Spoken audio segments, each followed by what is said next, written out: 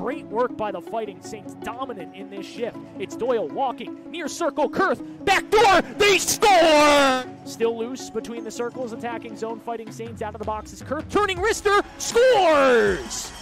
Gagne for the Lumberjacks. Now a giveaway. Kurth racing in, looking for three. Far circle lost it, gets it back and taps it in. Hat trick Connor Kurth. Drag out to center. A good feed for Kurth with numbers. Three on one. Kurth left circle, near circle. Stella scores. We're off to a good start. Here comes Kurth through center with Savoy. Finds Savoy. Right circle, walking and shooting. Scores! Three shots on goal, two of which come on the power play. Now here comes Kurth walking in. Right circle, Kurth trying to swim one through the legs of Glockner, and he does. Kurth on the back door wide open. There's just a little tap in. And the Saints come back in again. It's Kurth the Fletcher. He scores! Good poke check there sets up Connor Kurth as he sets sail through center. Three on two for the Saints. Tap to the middle. It's still up for grabs. Kurth the shot. He scores! Sets it up there.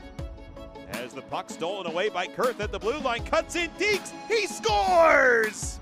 Kurth from the right point at the top the throne. Now to the left side, Genevieve. Back to throne straight away. One touch to Kurth. Played it across. They score! I mean, Green Bay is a very dangerous team that's had its way with the Fighting Saints this season. So Kurth dances a defender. He's in. He scores!